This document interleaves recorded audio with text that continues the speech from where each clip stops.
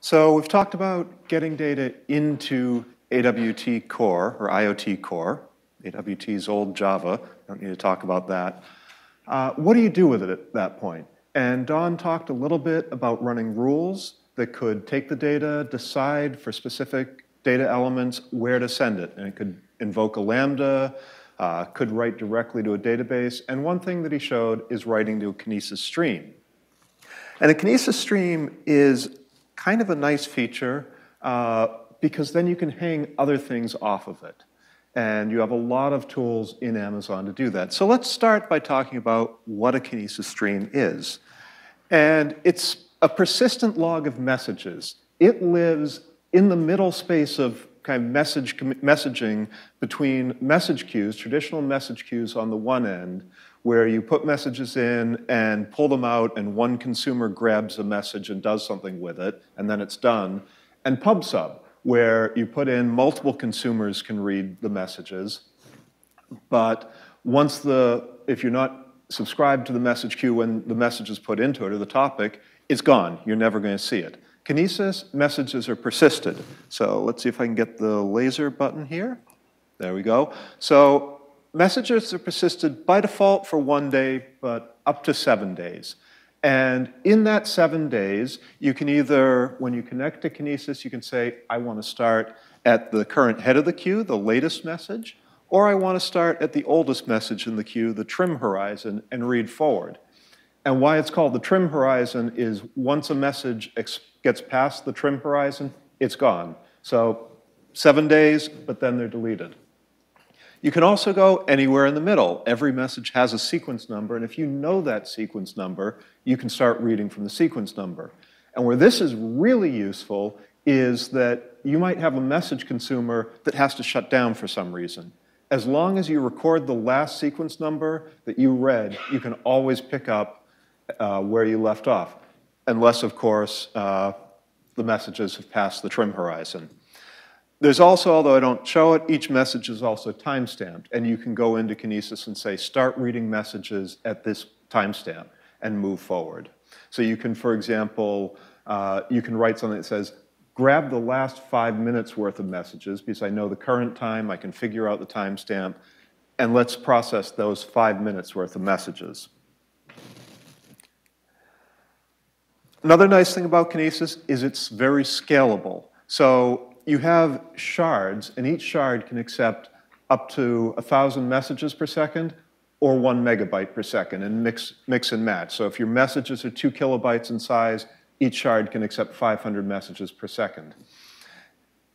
And maybe you have more than that. Maybe you're a high volume. You simply add shards, and you add shards to match the volume that you need you, the incoming records get distributed to a given shard based on what's called a partition key.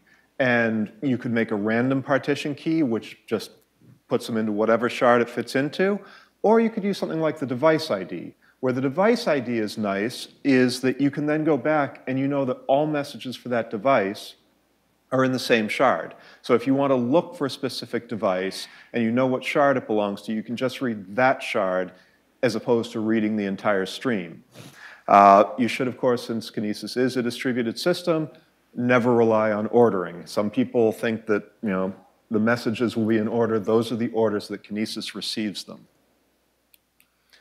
You can have multiple writers to a Kinesis stream, uh, multiple producers. So this slide is a typical example from using Kinesis as the center of a logging pipeline where your applications are writing log messages. And you could have anything that can connect to your Kinesis stream can write messages. In the case of IoT, you'd only have IoT core sitting here on the end. You could also have multiple consumers, as I said. You can have, uh, you do have read throughput limits, although you can work around those, but you can have, uh, for example, applications an on-premises app reading from the Kinesis stream and doing something with it. Uh, applications running on EC2 or Lambda. Kinesis will invoke your Lambda functions without you having to explicitly read the stream. And two co-branded products, which we're going to look at in a minute, are Kinesis Firehose and Kinesis Analytics.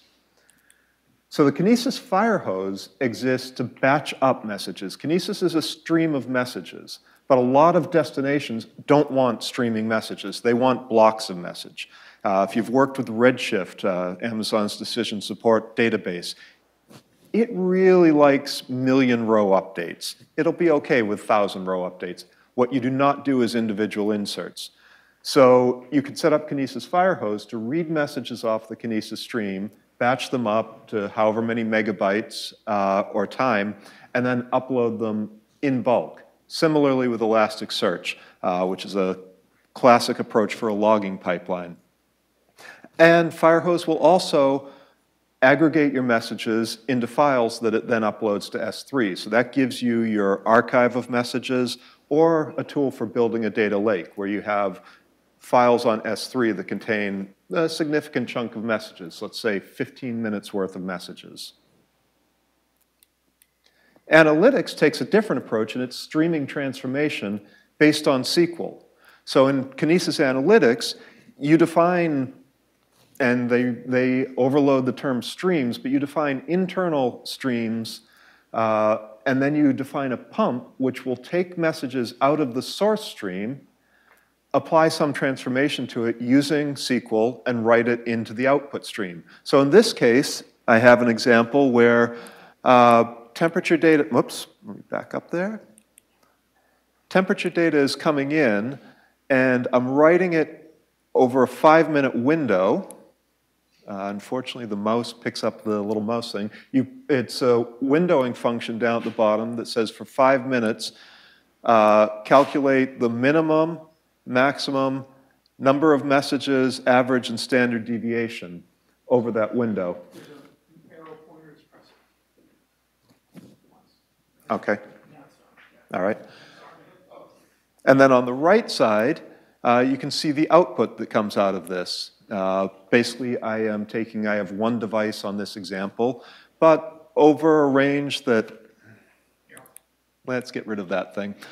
Over a five minute range, roughly five minutes, I get 29 readings. That's about right. I'm sending out every 10 seconds. The average temperature, it's a rolling average, uh, 79 degrees. And then at this point, I put my finger over the sensor so it started to go up. Where that's kind of interesting is I then used the rolling average temperature, and I wrote a different query using Kinesis Analytics that would directly trigger a Lambda function. So in this case, if the temperature starts spiking in your room, you probably want to notify someone. Uh, so I do what's arguably a bad thing. I'm going one standard deviation away from the, the moving average. Probably you want three or four. Uh, but again, I write as SQL I have my source stream, which is my, I do a join here, I have my source stream, which is my raw readings. I have that average temperature stream, which I created in the last step, and I have a query that says join them, and if the temperature is higher or lower than the rolling average, do something with it. In this case, the do something, and we'll do this in the workshop this afternoon, is invoke a Lambda function, which could then send out an email, SNS, whatever. All right, this is a very short talk, but plenty of time for questions if you have them. Yes?